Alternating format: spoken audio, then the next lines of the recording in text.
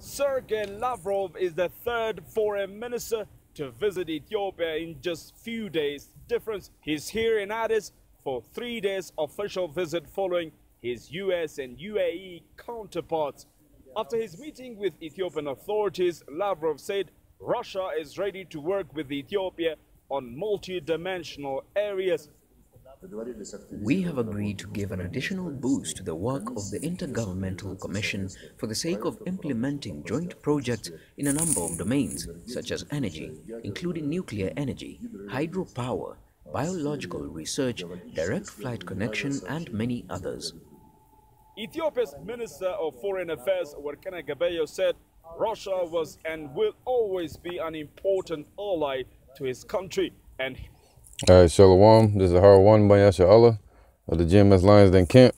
Want to say Kal Halayim, La Yahweh, Ba Hashem Yahushai, Ba Hashem Harakah Kodash, Ma'amath. Double honor to the elder apostles of GMS, and Shalom to you, Akim, and Akwatim around the four corners of the earth, and children that believe in sincerity and the truth. And you know, hey man, prophecy coming to pass, man. The apostle Har put it out there that this is the year of prophecy.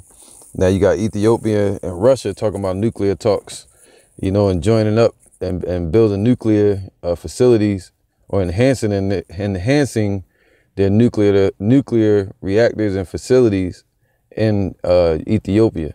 And Ethiopia is one of the biggest African armies, uh, militaries in Africa, right? And it's spoken of in the scriptures.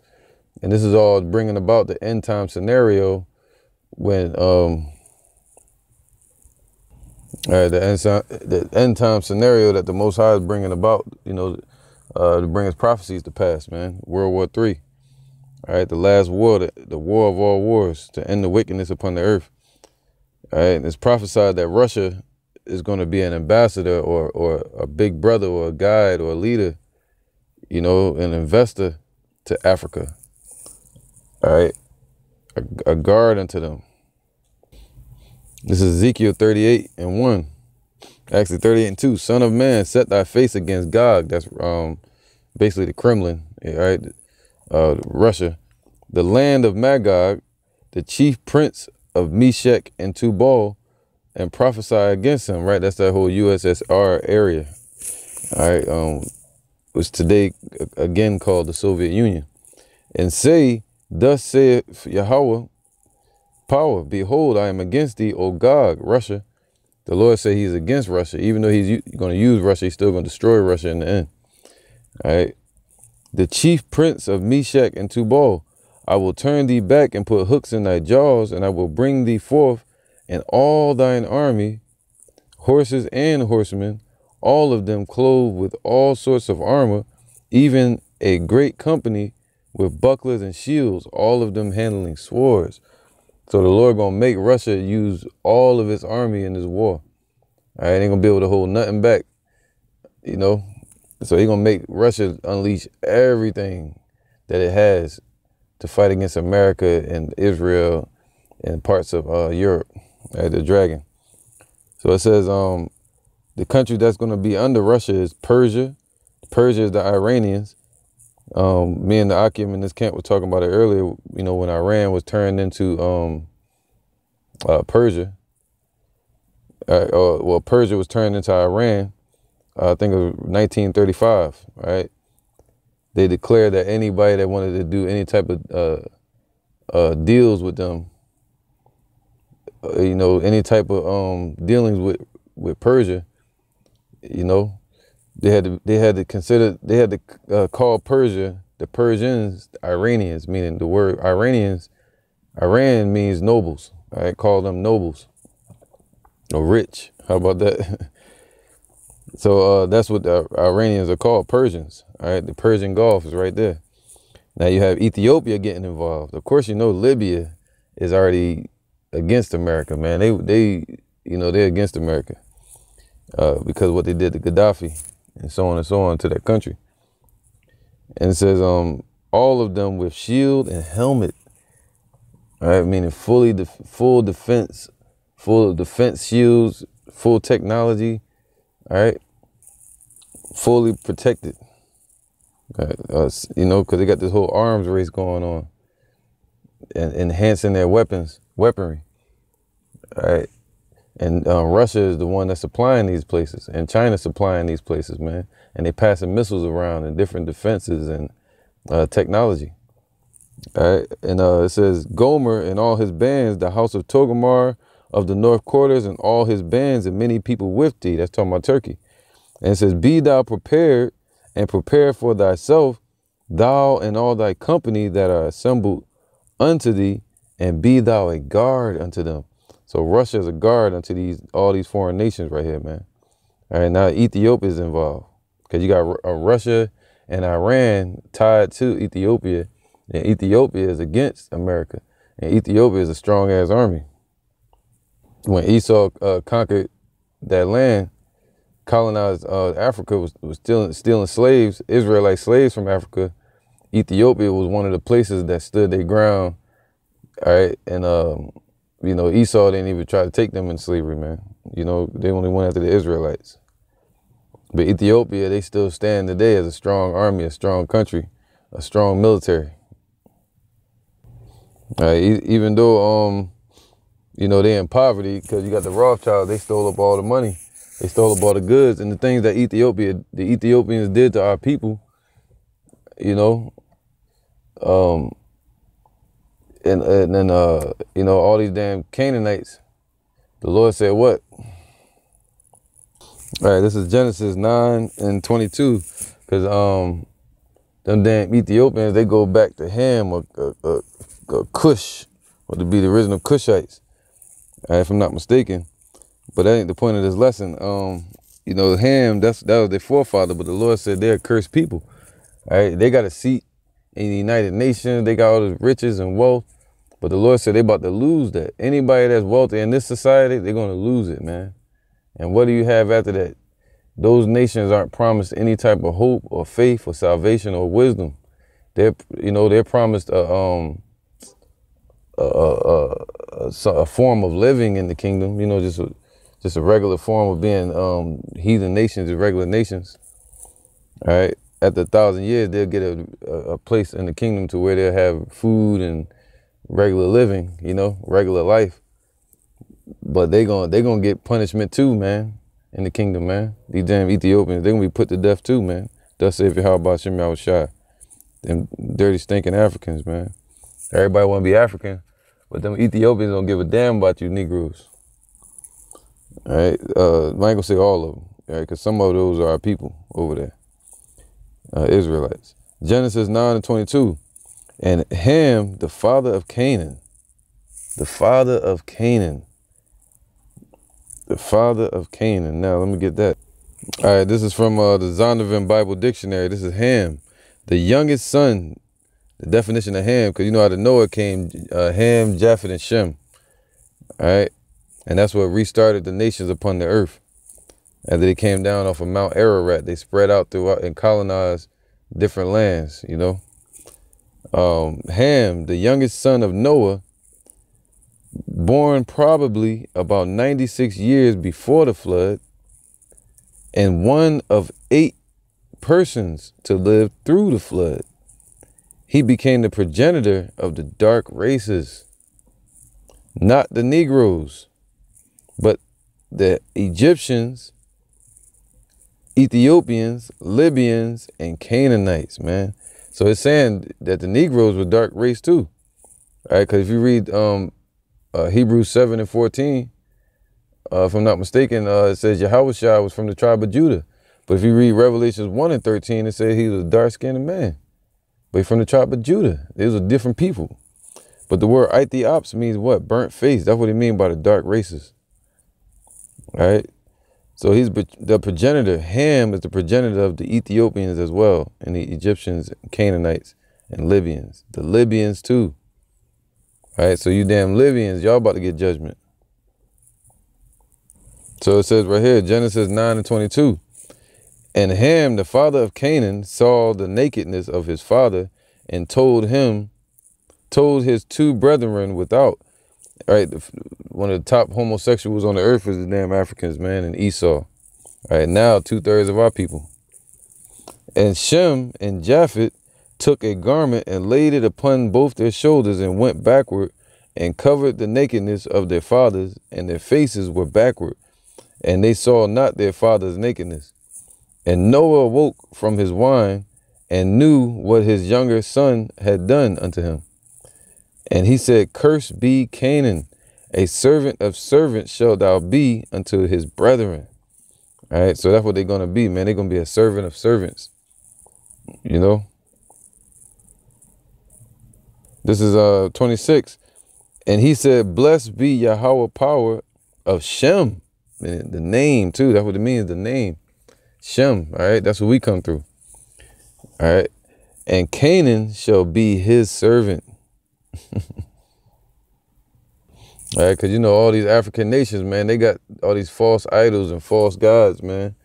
And you know, they do the whole tribal mark thing, man. The Ethiopians, where they cut themselves and shit. And, you know, they be doing homosexuality and, and, bestiality, all kind of shit, man. But then they go into, around Esau and try to act all civilized. You know, but the Lord watching all of that. And the Lord got a judgment coming for you damn Ethiopians. But it's, but it's prophecy that's happening because the Ethiopians are coming forward into this whole nuclear talks now, into nuclear deals and nuclear facilities with Russia. The the guard that's that, that's guarding them, man. You know. Uh, this is Zephaniah two and eleven. Yahweh will be terrible unto them, for he will famish all the gods of the earth, and men shall worship him. Uh, worship him, every one from his place, even all the isles of the heathen. So all these heathens gonna worship Yahweh in that day, man. They're gonna they're gonna come up to the to the to the um the house of Yahweh and and and beg for for his children, the elect, to have mercy on them, man. Beg for Yahweh Bashem Yahushua to have mercy. And they're gonna try to learn the ways of the Father and learn the laws, man. And they're gonna be forced upon these damn people. All right, so it says what? Ye Ethiopians also, ye shall be slain by my sword, man. All right, so the Lord got a judgment coming for you Ethiopians, man, and you Africans. Russia was and will always be an important ally to his country, and history has proved Moscow's friendship to Ethiopia. Your visit is a much anticipated moment in the long journey of friendship between Ethiopia and the Russia, Russian Federation. The visit is fitting occasion to the commemoration of 120 years of Ethiopian-Russian diplomatic relationship. And then history has proved Moscow's friendship to Ethiopia. Your visit is a much anticipated moment in the long journey of friendship between Ethiopia and the Russia, Russian Federation. The visit is fitting occasion to the commemoration of 120 years of Ethiopian-Russian diplomatic relationship. And then the scoop of the day, Russia has proposed to build a nuclear energy facility to Ethiopia. The facility will serve a peaceful purposes. Right now, talks are ongoing on establishing the Nuclear Technology Center in Ethiopia on the basis of already existing Russian-designed research reactors. All right, so what does that mean? Russia is the new peacekeeper in the world.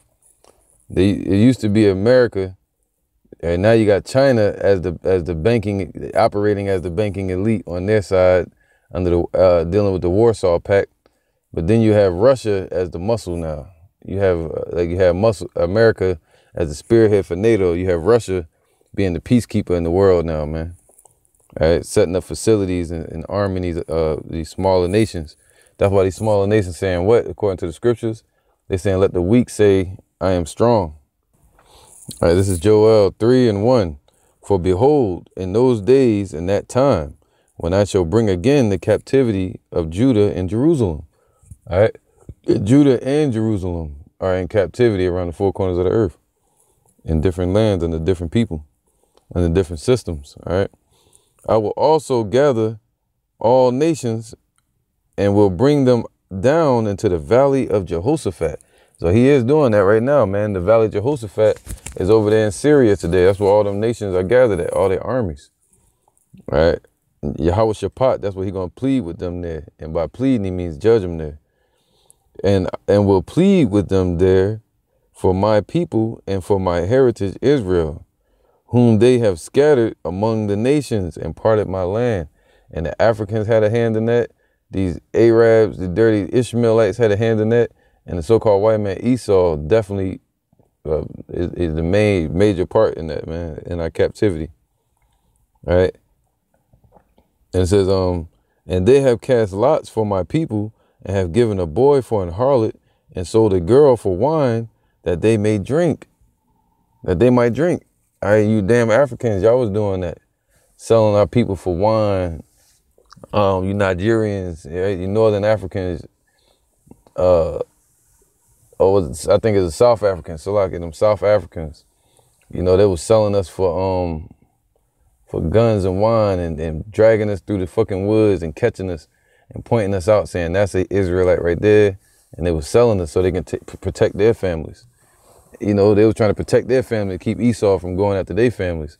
So they'd point us out, and they'd drag us long miles all the way to the shores to get on the slave ships, and and, and through that uh, travel, they would take us to um, through the jungle, and through the jungle we'd be starving, we'd be stepping over dead bodies, our ancestors, our, our family members, all throughout the jungle, and tigers was ripping up people, our people apart before we even got to the ships. You know, so that's the part. That's what that's what these damn Africans did to us, man. All right, and so-called white man and the Arabs, and you got to pay for that. Uh, a thousand years is a day to the Lord, so nothing was forgotten. Now you got these Africans in the stores in America they got all the stores in the hoods in America, the Arabs. All y'all sold out, man. All y'all had a hand uh, in our in our uh, downfall with Esau, right? All these nations, man, they ate lovely off America and off of Esau. It says, "Yea, and what have you have you to do with me, O Tyre and Zidon?" Right? Those are the, those um those were those uh, uh, African countries, man, at that time. Those coastal countries of um, over there in the Middle East. All right, the, um, off off of the shore, all right, Tyre and Zidon, and all the there you go, kind all the coast of Palestine, right? That's where the Philistines were at originally. But now you have different. Um, they was over in the area, right? But then you have uh, uh, Palestine, all the coast of Palestine, so that whole Middle East area now. Right, will ye render me a recompense? If you can recompense me swiftly and speedily, will I return your recompense upon your own head. Because ye have taken my silver and my gold and have carried it into your temples, my goodly pleasant things. The children also of Judah and the children of Jerusalem have ye sold unto the Grecians that ye might remove them far from their borders. Right, that, and that's just clear, man. And they removed us far from our borders that way, man. And we lost our land. We, you know, we were sold into slavery, and that's where we completely was, uh, you know, uh, what you say, erased from being a people. Right, we fell, but now we're being brought back. All right, but anyway, I'm still on track. It says, uh, verse 8, um, verse 7 Behold, I will raise them out of the place whither, the, whither ye have sold them. Right? Kind of, was just saying that. That's the spirit. And will return your recompense upon your own heads. And this is directed towards the Ethiopians, these Russians, America, Esau, China, these Arab countries, the Palestinian countries, these Syrians, all of them, man. And I will sell your sons and your daughters into the hand of the children of Judah, and they shall sell them to the Sabeans, to a people far off, for Yahweh have spoken it.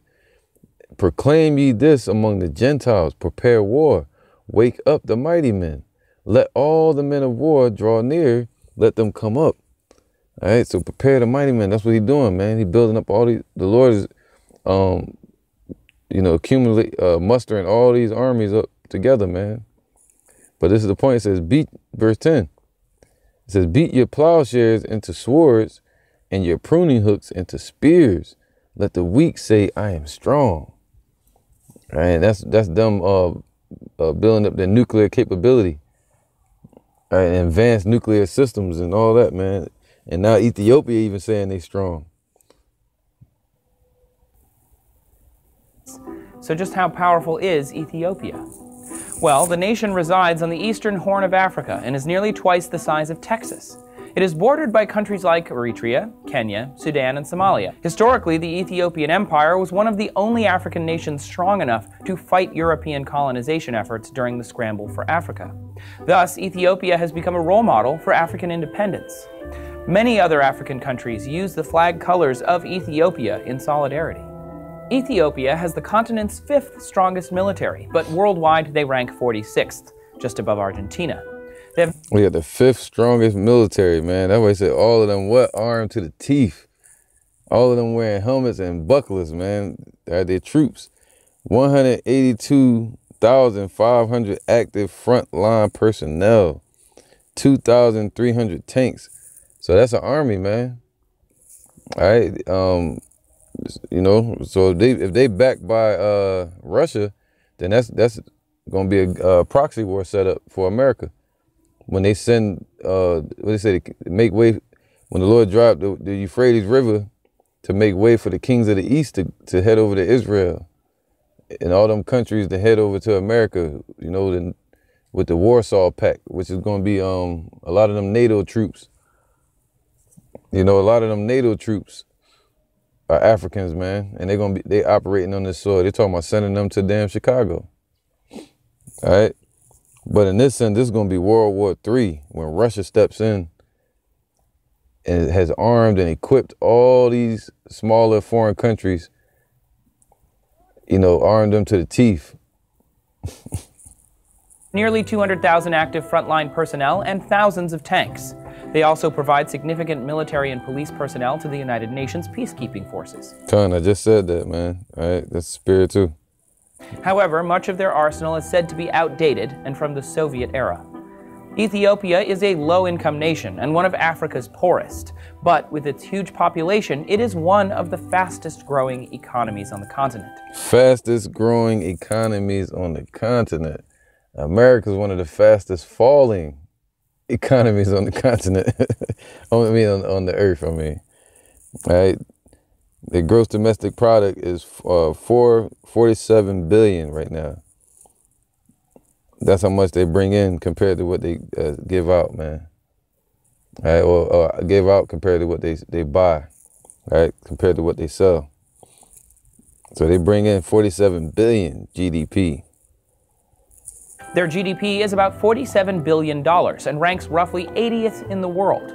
While they don't have significant oil reserves like several other wealthy right. in America, their debt is higher than their GDP. Right. African nations, they do have booming agricultural industries.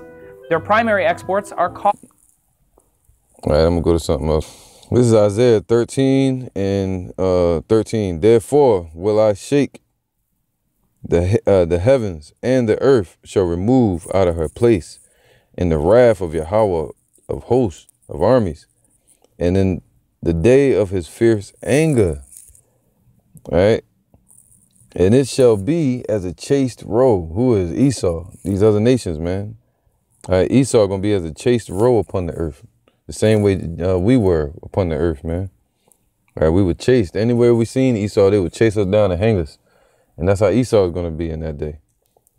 All right, and and as a sheep that no man taketh up, they shall every man turn to his own people and flee everyone to his own land. Everyone that is found shall be thrust through. Everyone that is joined unto them shall fall by the sword. Their children also shall be dashed to pieces before their eyes. Their houses shall be spoiled and their wives ravished. Behold, I will stir up the Medes against them, which shall not regard silver, and as for gold, they shall not delight in it. All right, because uh, America has no money. America can can make promises of gold and gold bonds, but everybody tired of gold bonds because there's nothing backing it. Gold certificates. Everybody want to they, they want the real gold. And Russia, China, and all these foreign countries, they got the real gold right now. They got the real silver. So there's nothing that America can do to get out of this ass whooping that's coming to them. They being boxed into a corner. All right, it says, um, so the Medes of Russia, verse 18, their bows also shall dash the young men to pieces, and they shall have no pity on the fruit of the womb, for uh, their eyes shall not spare children. All right, America's not sparing children over in these foreign countries. All right, they didn't spare children with us when they when they um took us captive. Verse 19, and Babylon, America, the glory of the kingdoms, glory of Europe, the glory of these NATO countries, the glory of the whole fucking world. They got rich off of her, man.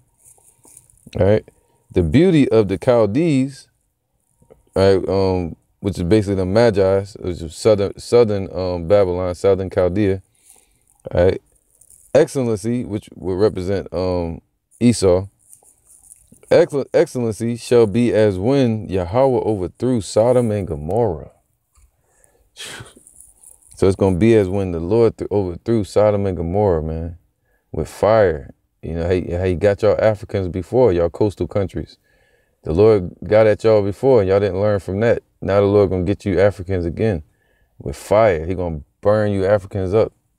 He gonna burn Esau up. He gonna burn two thirds of our people up that want to be Africans and be like Esau. All right, I'm gonna play this clip, and right here talking about how Iran is planning to invest more in Ethiopia. Why? Because Russia's investing in Ethiopia, you know, in Turkey, in parts of Turkey, and also um, uh, uh, China, and also uh, Libya. You know, all these different countries, man. All right, Syria. So these are all the countries spoken of in prophecy, man, and they're all clicking up together. building up their, their forces and econ- economy against America's economy and Esau. All right, so it says um, Iran plans to invest more in Ethiopia, man. All right, so um, before I play it, I want to get that scripture one more time. All right, this is verse Ezekiel 38 and 4. And I will turn thee back and put hooks in thy jaws, talking about Russia, turn them back to the Soviet Union they used to be ever since um, 1991 when they fell and they've been brought back to that uh, in 2016. And will and I will bring thee forth and all thine armies, horses and horsemen, all of them clothed with all sorts of armor, even a great company with bucklers and shields, all of them handling swords. Persia, Iranians, Ethiopia, and Libya with them, man.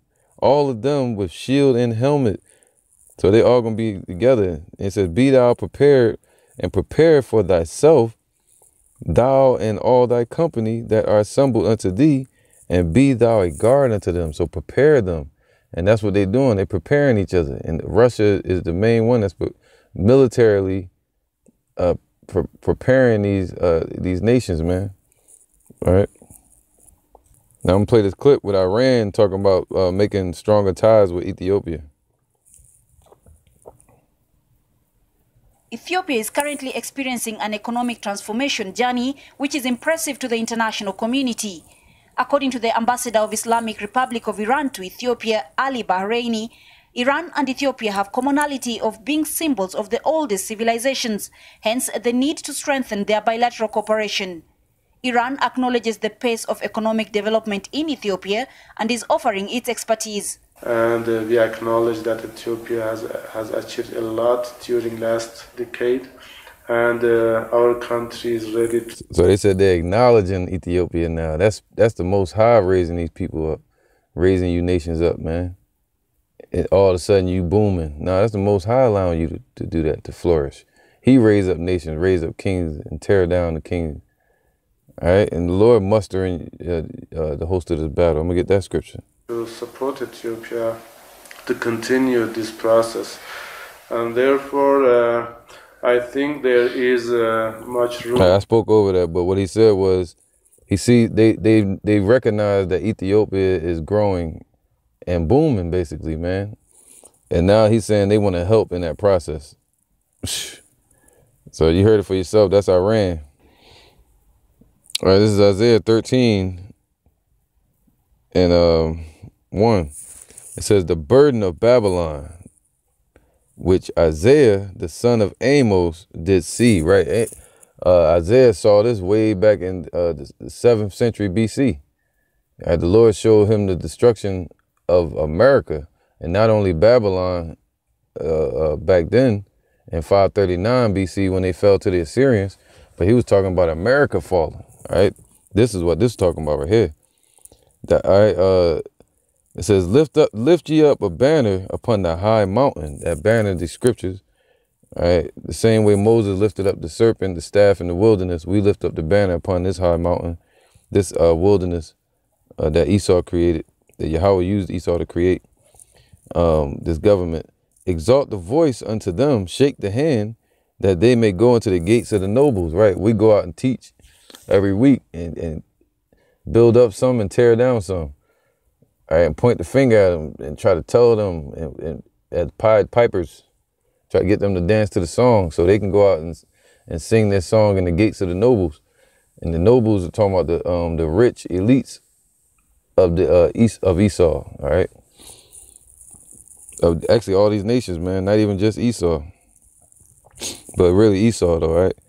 The ambassador of the heathens. Verse three. I have commanded my sanctified ones, and I have also called my mighty ones for mine anger, even them that rejoice in my highness, man. He's talking about the angels and his elect, right? And these armies. Verse 4 the noise of a multitude in the mountains and the governments, like as a great people, a tumultuous noise of the kingdoms of nations gathering, gathered together. And that's what they're doing. Yahweh of the, uh, and actually we coming together too. That's what he's saying. He said, a great exceeding army standing upon their feet, the children of Israel, the elect, standing together in truth and sincerity, and in the same spirit and unity and faith in Yahweh. All right. Uh, the, the, the dry bones, you know, he said we, we're to stand upon our feet in the army. So he, he must, he's bringing, uh, bringing us back together too. He said the dry bones begin to come together. All right, the, all right, the nation of Israel. So um, it says, um, the, the noise of a multitude in the, in the governments in the mountains, like as a great people, a tumultuous noise of the kingdoms of nations gathered together. Uh, Yahweh of, of armies mustereth the host of the battle. All right, so who's mustering this host? Every everybody that's being called to this this damn war and to the table and to the forefront, you know, and, and to this theater. Yahweh Bashem Yahushua is the one that's uh, bringing this about. Because no man controls his footsteps. No man knows his tomorrow. The Most High has written your footsteps and mine. Right? And it says, they come from a far country, from the end of heaven, even Yahweh and the weapons of his indignation to destroy the whole land. The weapons of his indignation. So the Lord put the spirit on these heathens to create these missiles, man.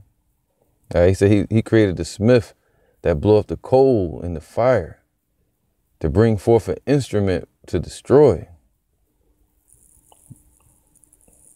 And what destroy the destroying winds, you know, the ICBMs. Verse 6 How ye for the day of Yahweh is at hand, and it shall come as a destruction from the Almighty. All right, so hey, and it says this, um, you you Ethiopians that think y'all gonna get out of this. Therefore, verse 7 Therefore shall all hands be faint, and every man's heart shall melt. and they shall be uh, afraid, pains and sorrows shall take hold of them. They shall be in pain as a woman that travaileth. They shall be amazed one at another. Their faces shall be as flames, man. I read that in the uh, last uh, video I did. So, but uh, hey, you, Ethiopia is stepping up to the plate now. All right. And uh, that's just it, man. They even got tensions with Egypt right now. Different, same way Rome had tensions with them uh, uh, nations around it in the past. Now, Ethiopia is uh, basically claiming this spot, man, claiming this position, man, as a top dog in Africa. All right, with that, man, I'm gonna say, uh, I'm gonna say, uh, Shalom, Kal Halayim, La Yahweh, Ba'Hashem Yahushai, Ba'Hashem, Harakat Kodash, Ma'amath. Double honor to the elder apostles of GMS and their elders, and Shalom to you, Akim and Akwatim, and children that believe in sincerity and the truth around the four corners of the earth. And uh, hey, the scripture say at the end, they shall speak and not lie. And it's 2018, the year of prophecy, man. So let's look for a lot of these prophecies to come to pass.